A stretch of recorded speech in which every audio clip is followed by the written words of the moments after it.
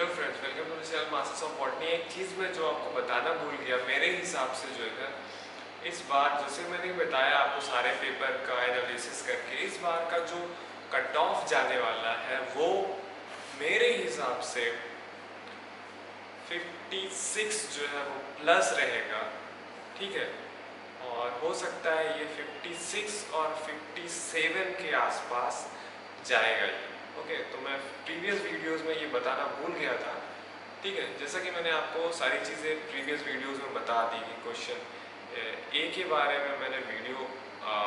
नहीं बनाया उसमें क्वेश्चन जो थे इसमें भी इस बार आसान आए थे और बी और सी के बारे में मैंने सारी चीज़ें आपको बता दी। उस हिसाब से पेपर इस बार का आसान था प्रीवियस पैटर्न पे आया था और जो कट ऑफ़ होगा वो मुझे लगता है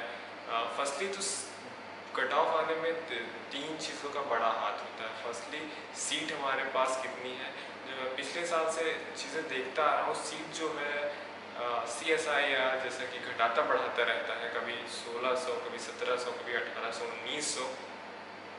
एक बार तो जब कट ऑफ़ जर्नल का 50 गया था, उस बार तो 3000 सीट हो गई थी। तो उस हिसाब से अगर सीट जो है सी एस आई आर सत्रह सौ या अठारह ही देता है